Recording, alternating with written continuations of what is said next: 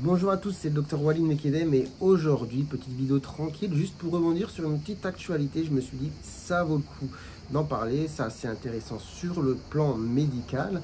Donc je suis tombé sur une actu qui parlait du réalisateur David Lynch, donc le réalisateur de films, où justement ce réalisateur évoque le fait, il l'évoque clairement, qu'il a une maladie pulmonaire qu'on appelle l'emphysème. Et du coup, vous êtes peut-être nombreux à devoir avoir déjà entendu parler de ce problème de santé, de cette maladie. Mais finalement, qu'est-ce que c'est? Eh bien, je vais essayer de répondre à cette question de manière assez simple et rapide, mais au moins pour que vous ayez la notion. Donc l'emphysème, c'est tout simplement une destruction d'une partie du tissu pulmonaire. La première cause justement d'emphysème, faut pas chercher trop loin, c'est le tabagisme.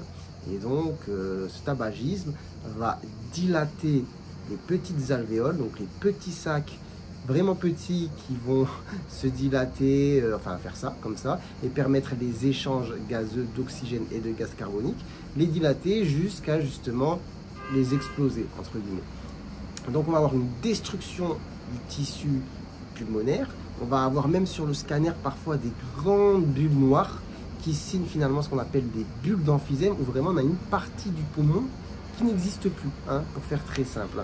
Qui plus est, si on a cette partie ah, finalement qui est détruite, qui ne fonctionne plus, on va avoir aussi des difficultés à faire les échanges de gaz, oxygène et gaz carbonique. Donc vous imaginez bien, ça va créer des modifications aussi dans l'organisme.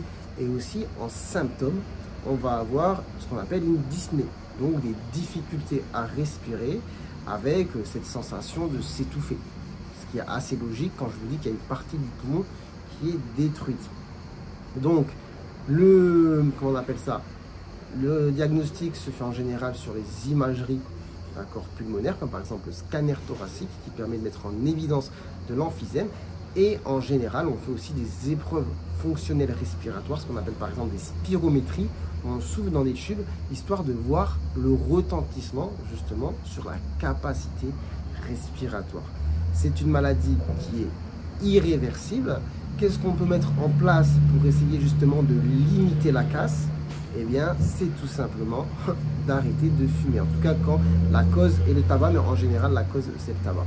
Et après, il y a des traitements plus, on va dire, euh, de confort ou qui permettent euh, euh, de soulager certains symptômes comme la dyspnée, comme l'essoufflement. Mais bon, c'est pas une maladie qui guérit. Donc un mot de prévention une fois de plus, mais le tabac, c'est pas top et ça cause de gros problèmes. C'est pas toujours les problèmes de cancer, on entend tout le temps tabac, cancer, tabac, cancer, tabac, cancer, mais en fait, le tabac, c'est aussi plein d'autres maladies associées.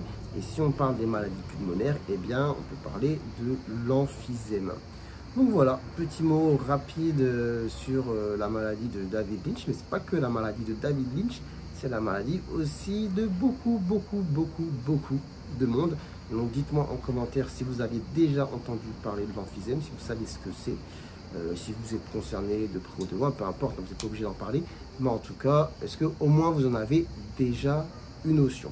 Enfin bref, sur ce, je vous dis prenez soin de vous, prenez soin de votre santé et à très bientôt, je l'espère, pour de nouvelles vidéos. Ciao, ciao